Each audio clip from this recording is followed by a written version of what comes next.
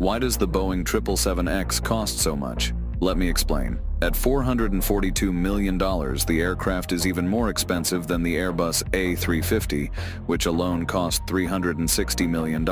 But even though it has less range than Airbus's A350, the 777X can cruise at 43,000 feet. The 777X real standout feature is its ability to carry upwards of 426 passengers, which puts it way ahead of any other aircraft in its category. But why does it cost so much? Well, the Boeing 777X is built with the best technology in aviation, pushing the boundaries of what is possible. This includes the largest engines ever produced, the GE9X. However, this comes at the price of $42 million alone. But these engines will produce over 100,000 pounds of thrust each. However, the biggest cost is in the manufacturing of the aircraft. The 777X will be made from lightweight composite materials, which gives the aircraft more efficiency. However, this material is more expensive to